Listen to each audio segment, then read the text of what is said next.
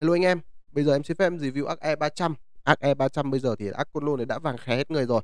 Nhuộm vàng Côn rồi nhá anh em.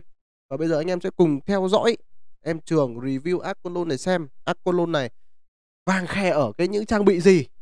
Đầu tiên thì vẫn là cái đao đó thôi, 42 cấp, băng sát 88, thương vấn liếng, ngoại công hiện là 82% và ẩn là 49 điểm.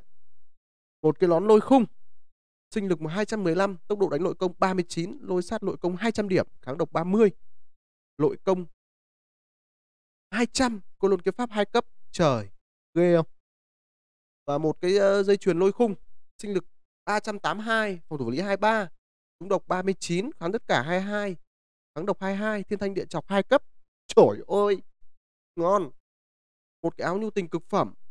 Kỹ năng vốn có một cấp, kháng độc 25 và sinh lực 200 một cái đai sinh tinh, sinh lực 221 làm chậm 44 hộ, phong pháp 3 cấp, phòng thủ lý 30 nội lực 192 và choáng là 39 và một cặp vô danh. Và một cái bao tay 3 cấp 311 kháng độc 25 và một cái ngọc bội vụ ảo, sinh lực 242 làm chậm 49 mê tung ảo ảnh. 3 cấp, phòng thủ vật lý 28, nội lực 167 và thời gian choáng 39. Và một cái giày mê tung, à, một cái giày vụ ảo, sinh lực 294, túi tiên tá cốt 3 cấp, tốc độ di chuyển 49, kháng lôi 29, nội lực 40 à 172 và thời gian choáng 47.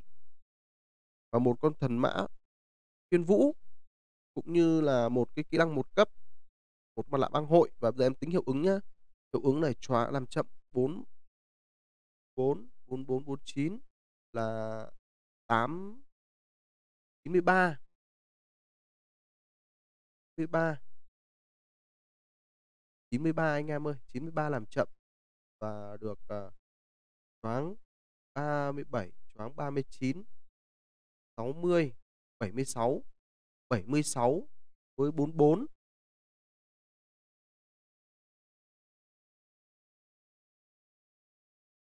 3 là 120 choáng rồi 124 choáng anh em.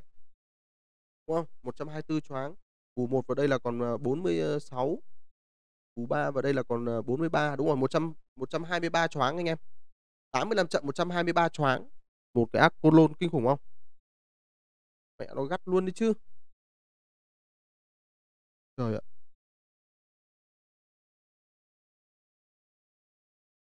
Ghê nhờ. Aqualon nhìn yêu thế, bao giờ em trưởng mới có tiền cái cặp vô danh này nhở?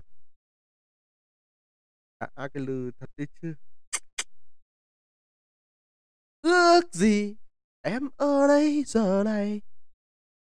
Ước gì ta đừng có giận hơn Trời ơi! Cái ác nó thật là kinh. Ồ, em xin phép dừng review, clip review ác E300 ở đây nhá.